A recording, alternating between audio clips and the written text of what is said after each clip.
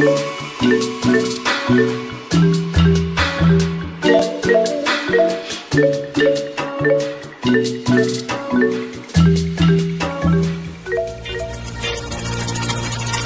been a long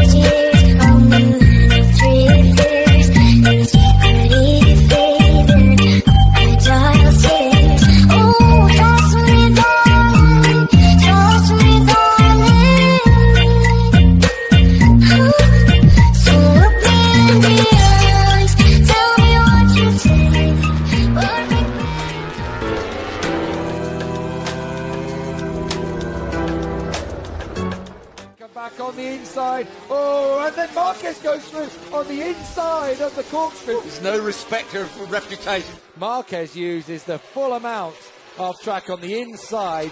The lights are on red. The race is underway. Great start from Sete Gibernau from the front row. Rossi moves up on the inside of Bayliss and Rossi takes the lead for the first time since starting from pole position. But Rossi runs wide. Bayliss back in control. Can Biaggi get round into second place? It looks as though he can. He has the line around the outside.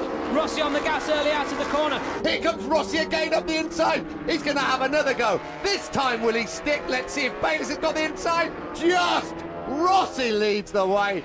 And Gibernau now will take advantage as well. Gibernau gets up on the inside and shoves out Troy Bayliss. Gibernau up the inside now on the brakes of Valentino Rossi. Who's going to go into the left-hander first? We wait and see. Sete Gibernau leads the way. Will he run it wide? Will Rossi get back in front? No, he won't.